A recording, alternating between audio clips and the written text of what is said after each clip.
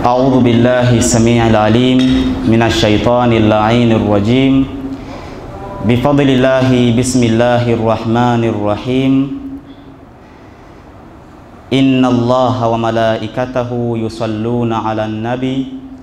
يا أيها الذين آمنوا صلوا عليه وسلموا تسليما.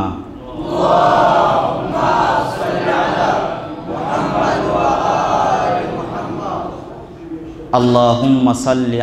محمد وآل محمد. اللهم كن لوليك الحجة بن الحسن. صلواتك عليه وعلى آبائه في هذه الساعة وفي كل ساعة. وليا وحافظا وقائدا وناصرا. ودليلا وعينا. حتى تسكنه أرضك طوعا وتمتعه فيها طويلا. برحمتك يا أرحم الراحمين.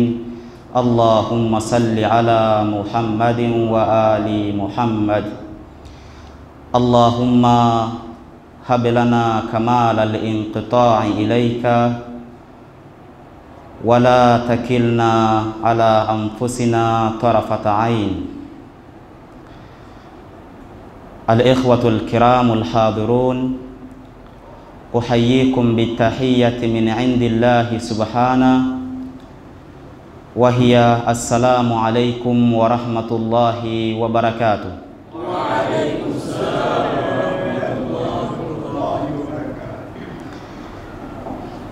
Baada ya kupata amri na maelekezo kutoka kwa wazee wangu, walezi wangu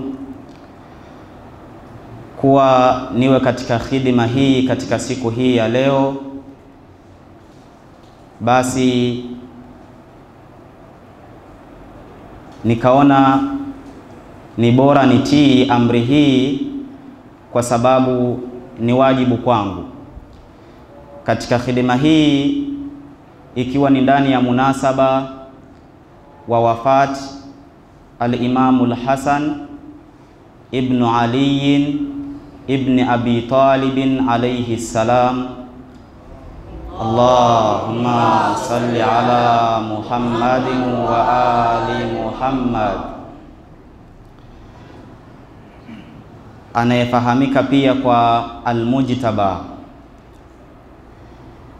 Katika usiku huu wa huzuni, kwa kuwa sisi ni wafuasi wa Ahlul Bait alayhimu salam, kwa maana wanapohuzunika basi na sisi tunahuzunika, na wanapokuwa katika furaha basi sisi tunakuwa nao pamoja katika kufurahi. Khitabu yangu itakuwa inaelekea zaidi kwa wadogo zangu kutokana na muktadhi, tukiwa katika hadhira ya madrasa na walio wengi miongoni mwetu ni wanafunzi. Kwa maana sasa khitabu yangu itakuwa imeelekea sana kwa wadogo zangu. Katika majlisi hii nimependa tutabaruku na maneno matukufu ya Sayyiduna al-Imamu al-Hasan alayhi salam alipotukumbusha na kutuambia kwamba i'lamu anna Allaha ma khalaqakum suda. I'lamu anna Allaha ma khalaqa ma khalaqakum abatha wa laysa bitarikikum suda, kwamba tambueni kwamba Mwenyezi Mungu Subhanahu wa Ta'ala hajakuumbeni bila lengo lolote, hajakuumbeni bure bure. Walaisa bitarikikum suda, na wala hatokuacheni hivi hivi.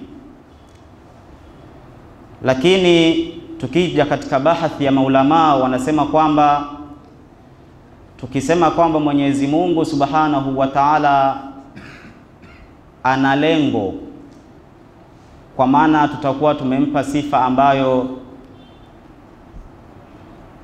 hasifiki nayo kwamba Mwenyezi Mungu ni muhtaji. Katika bahathi ya maulamaa wa akhlaq wakasema kwamba mwanadamu ndiye ameumbiwa lengo, kwa maana baada ya mwanadamu kuumbwa Mwenyezi Mungu alimpa lengo ambalo mwanadamu inabidi akiwa katika huu ulimwengu annashaa ad-dunyawiya ni lazima ahakikisha amelitimiza hilo lengo, na huo ndio mtihani aliyotupa Mwenyezi Mungu Subhanahu wa Ta'ala. Ama katika kumuumba Mwenyezi Mungu mwanadamu, katika uumbaji wa Mwenyezi Mungu kumuumba mwanadamu hiyo ni katika elimu yake Mwenyezi Mungu Subhanahu wa Ta'ala.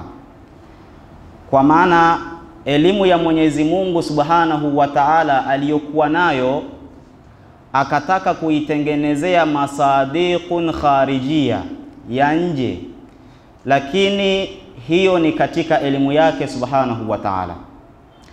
Kwa maana sasa Mwenyezi Mungu alivyomuumba mwanadamu akamuumbia lengo na lengo hilo ni lazima alitimize akiwa katika huu ulimwengu kabla ya kuondoka.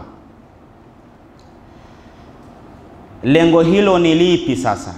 Kwa sababu Alimamu Al-Hasan alayhi salam anatuambia Mwenyezi Mungu hajatuumba bure, kwa maana kuna lengo maalumu ambalo sisi inabidi tulitimize. Tukijiuliza lengo hilo ni lipi sasa,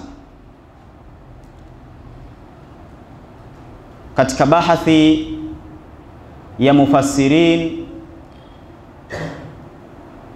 wanasema kwamba Mwenyezi Mungu ametuumba kwa lengo na lengo hilo ni ibada.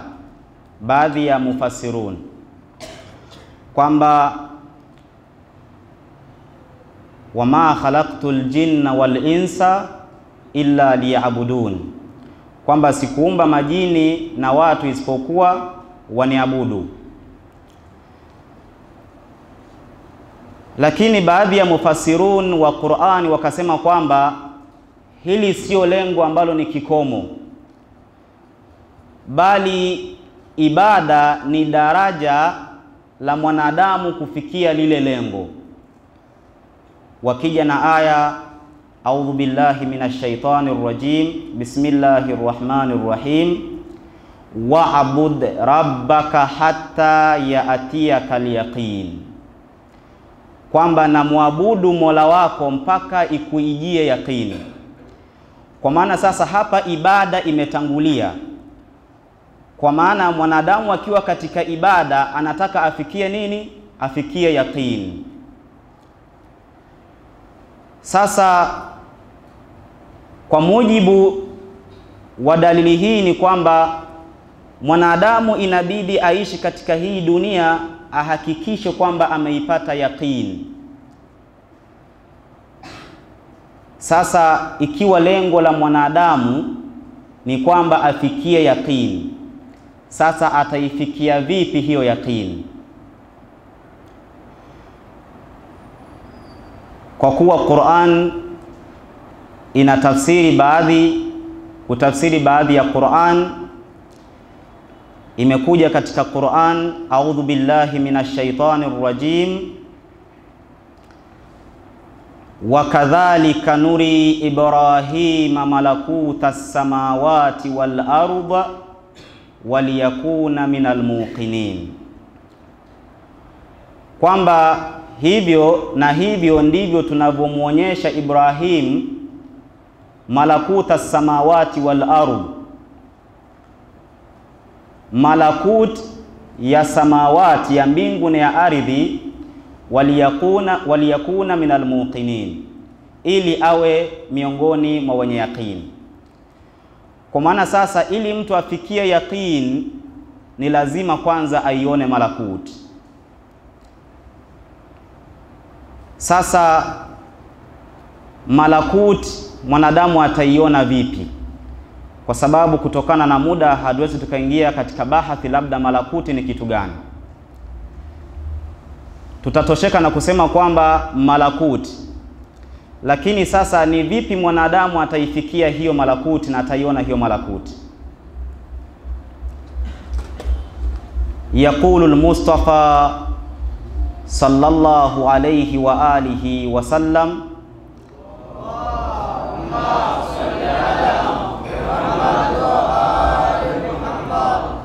ma min qalbin illa walahu ainan wa udhunan fa idha arada Allahu bi'abdin khairan fataha lahu ainaini llataini huma lilqalb liyushahida bihima almalakut, kwamba kila mwanadamu au kila moyo una macho mawili na masikio mawili. Mwenyezi Mungu anapotaka kumpatia kheri mtu, basi huwa anamfunulia au anamfungulia macho yake mawili ambayo ni ya moyo, ili apate kuiona malakuti. Kwa maana sasa, ili mtu apate kuiona malakuti ni lazima kwanza macho yake ya moyo yaone, yaani ayafungue, achukue ufunguo ayafungue, ili yawe wazi, apate kuiona malakuti. Sasa tukijiuliza, kabla ya kutafuta ufunguo wa kufungua hayo macho mawili ambayo ni ya moyo ili aione hiyo malakut, tujiulize kwanza, mlango uliofunga hayo macho mawili ni upi? Ni kitu gani kimefunga? Ni pazia gani ambalo limemzuia mwanadamu asiione malakuti? Ni mpaka atafute ufunguo. Tukirejea katika Qur'ani hiyo hiyo, Mwenyezi Mungu Subhanahu wa Ta'ala anasema, a'udhu billahi minash shaitani rrajim walaqad dhara'na lijahannama kathiran minal, minal jinni wal ins lahum qulubun la yafqahuna biha wa lahum a'yunun la yubsiruna biha walahum adhanun la yasma'una biha ulaika kal an'am bal hum adall ulaika humul ghafilun. Kwamba kuna wanadamu wameghafilika, wana nyoyo lakini hawafahamu kupitia nyoyo hizo, wana macho lakini hawaoni kupitia macho hayo, wana masikio lakini hawasikii. Hao ni kama wanyama, bali wao wamepotea zaidi. Ulaika humul ghafilun, imekuja hum ikifanya takhsisi kwamba hao ndio walioghafilika. Kwa haraka haraka, alghafilun au kughafilika ni kushughulika na kitu kingine, yaani ni kukiacha kitu kwa sababu ya kushughulika na kitu kingine. Hiki kitu kipo, lakini mtu akashughulika na kitu kingine akakisahau hiki, huku ndo kughafilika. Kwa maana kinachotakiwa mwanadamu aamke kutoka katika usingizi aliyolala ili apate kugeuka na kukiona hicho kitu kingine ambacho ameghafilika kutokana na hicho kitu. Sasa labda mwanadamu ni kitu gani kilichomshughulisha akasahau hiki kitu muhimu ambacho inabidi akikumbuke? Bila shaka ni talabu dunia, ni kuitafuta dunia kwa sababu mwanadamu amekuwa kila akiamka, anapolala anafikiria kwamba kesho inabidi nifanye hiki na hiki na hiki ili nipate fedha kiasi kadhaa. Akiamka mchana pia lengo lake ni hilo, kutwa nzima ni kutafuta, ni kutafuta, ni kutafuta. Wakati mwingine anakuwa hachungi hata haki za watu, lengo lake ni talabu dunia. Sasa ameshughulika na kitu hiki, amesahau kitu fulani. Kwa maana kinachotakiwa ni mwanadamu kwanza aamke, atokana na ghafla, ili apate kukumbuka sasa, kwa sababu wanadamu wamegawanyika makundi mawili tu, aldhakirun walghafilun. Ili asiwe katika alghafilun, ni lazima akumbuke ili awe katika aldhakirun. Sasa ni kitu gani kilichosababisha mwanadamu akashughulika zaidi na dunia akasahau kile kitu muhimu? Tukirudi katika Qur'an, Mwenyezi Mungu Subhanahu wa Ta'ala anasema qad aflaha man zakaha wa qad khaba man dasaha, hakika amef, ame, amefaulu atakaye man zakaha, mwenye kuitakasa nafsi yake, wa qad khaba, na hakika amepata hasara mwenye kuichafua nafsi yake. Kwa maana sasa, kutokana na mwanadamu kila siku anafanya madhambi, hiyo inampelekea ana, yani jicho la moyo linakuwa na pazia, anakuwa na ghafla, mwishowe anashughulika na kitu kingine, anasahau lengo muhimu. Kwa maana hapa sasa tutapata ufunguo wa kuyafungua hayo macho mawili kwamba cha kwanza kabisa ni mwanadamu aitakase nafsi yake, kwa sababu tukimtazama mwanadamu ana nafsi, na ili mwanadamu afaulu kuitakasa nafsi yake ni lazima ashinde ile jihad, jihadu nafsi, na ile jihadu nafsi hawezi kushinda ni mpaka kwanza yeye ajitambue na aijue nafsi yake.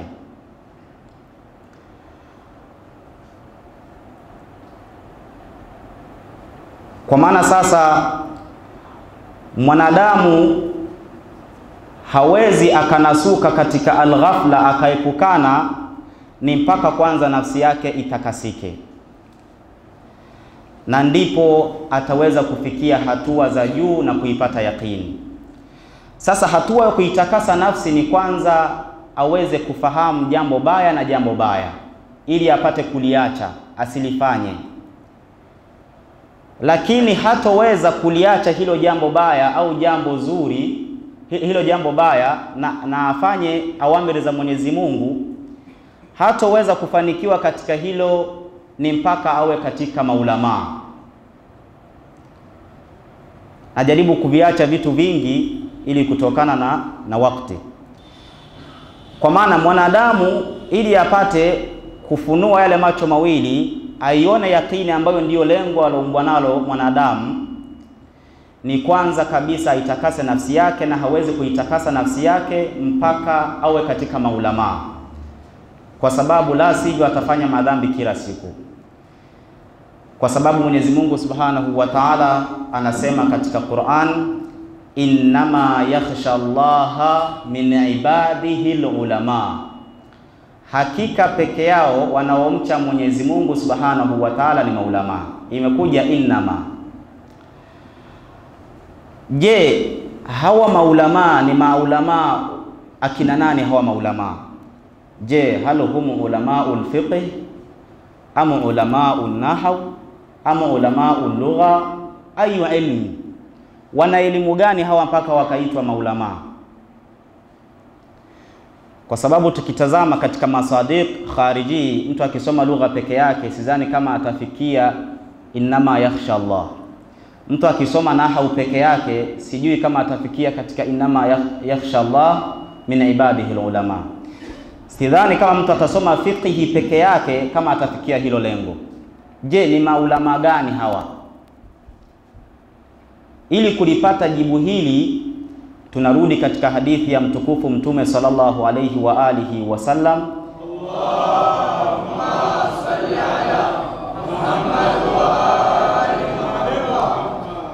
aliposema man amila bima alima allamahu Allahu ilma ma lam ya'lam. Kwamba atakayeyafanyia kazi aliyoyafahamu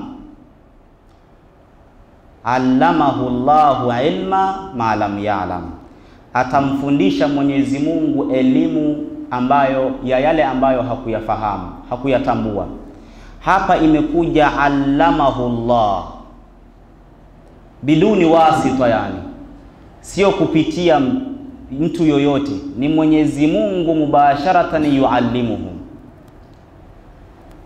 Lakini sharti imekuja nini? Man amila bima alima, kwa maana ni muhimu sana mtu afanye ibada haqqatal ibada, ili Mwenyezi Mungu apate kumfundisha elimu ya yale ambayo hakuyafahamu, kwa sababu hunaka alamun dhahirun wa alamun batin, kuna alamu hii ya dunia na alamu ya batin. Na hapo utapata kugundua kwamba ni kwa nini maasumuni wao hawafanyi dhambi ni kwa sababu Mwenyezi Mungu amewafundisha ile elimu, wao wanayaona madhambi kwa uhalisia wake. Nikija katika nukta ni kwamba hasa sisi wanafunzi tunapokuwa katika masomo, ni muhimu zaidi tuweze kujikita katika upande wa ibada, kwa sababu sisi lengo letu la kusoma ni ili tumfahamu Mwenyezi Mungu Subhanahu wa Ta'ala na hatuwezi kumfahamu Mwenyezi Mungu mpaka tuwe na yaqini, na yaqini yenyewe ni kumjua Mwenyezi Mungu haqqatal maarifa, uhakika wa kumfahamu. Tukishakuwa na yaqini, ndipo tunatulia sasa, tunakuwa na uwezo wa kumsaidia mtu, hata kama tuna siku tatu hatujala, mfukoni labda kuna shilingi mia tano, badala ya kununua mihogo, akija mtu anaomba mtu anatoa ile mia tano anamsaidia, kwa sababu ana yaqini. Ndio ile innama nutaimukum liwajhi llah. Ndio utaona ahlul baiti mambo gani walikuwa wakiyafanya, kwa sababu walikuwa na yaqini. Kwa maana kinachotakiwa sisi hasa wanafunzi tuweze kujitahidi katika upande wa ibada, kwa sababu elimu ni nuru ya Mwenyezi Mungu, na nuru ya Mwenyezi Mungu hapewi mtu anayefanya maasi kwa maana tujitahidi katika ibada hasa kabisa ni salatu laili, kwa sababu kadhaba, kadhaba man zaama annahu yuhibbuni wa idha jannahu lailu nama anni. Mwenyezi Mungu anasema katika hadithul Qudus, ameongopa yule mtu ambaye amedai kwamba ananipenda na hali ya kuwa usiku ukifika analala anisahau. Kwa maana kikubwa zaidi tufanye ibada Kutokana na wakati nitatawakafu hapa kwa kusema inna lillahi wa inna ilayhi rajiun wa sayalamu alladhina dhalamu ayyamun munqalabin yanqalibun.